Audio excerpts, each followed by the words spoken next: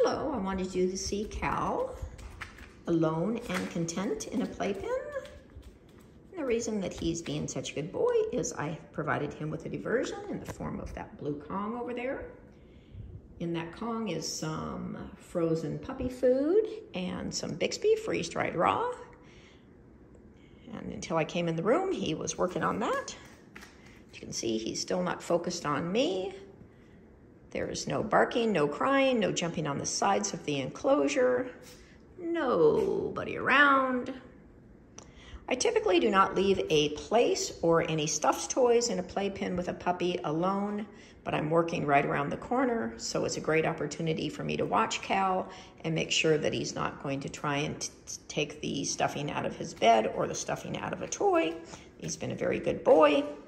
I also have an open uh, kennel over here he can get in there if he'd like. Sometimes I take an empty water bottle, like the one on top of the plastic kennel.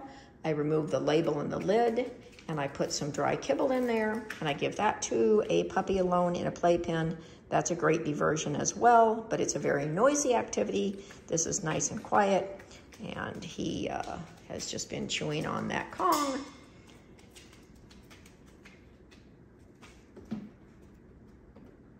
Goes using a little plastic kennel. You can see no barking, no crying, and no jumping on the sides of the enclosure. He's being a very good boy, and again, nobody around. Good boy, Cal, what a puppy.